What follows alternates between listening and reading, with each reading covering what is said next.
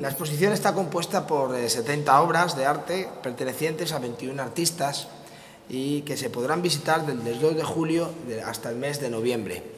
Con esta iniciativa, unida a la presentación que hacíamos ayer de la programación cultural de la Fundación Salamanca Ciudad de Cultura, especialmente con lo que tiene que ver con la actividad escénica y musical en la calle, volvemos otra vez a colgar el letrero de abierto por vacaciones. En este caso, colgarlo en la Puerta del Dados, ofreciendo una exposición de altísima calidad a todos los salmantinos y especialmente a los muchos visitantes y estudiantes de español que a lo largo del verano comparten con nosotros nuestras calles y plazas en Salamanca.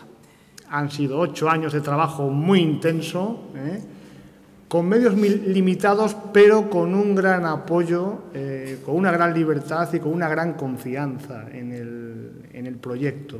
¿eh? Quiero insistir en ello. En pocos sitios he trabajado con la confianza y la libertad con la que he trabajado en, este centro. Es decir, hemos podido, con el, pequeño gran equipo del Dados, yo creo que hemos podido sacar adelante eh, pues los objetivos que nos trazamos al principio, cuando, cuando comencé hace casi ocho años, y esta exposición pues, forma parte de, esos, objetivos. Me apetecía mucho hacer una exposición de pintura a la antigua usanza, es decir, en el sentido de que el acabado fuera un formato bidimensional, tradicional, y también porque ya desde hace años estaba un poco detectando que, ese tipo de pintura social, política, que había poco, y sin embargo históricamente género más importante era la pintura de historia, la pintura de historia era por un lado o bien pintura religiosa o bien eh, pintura histórica en el sentido que reflejaba pues importantes eh,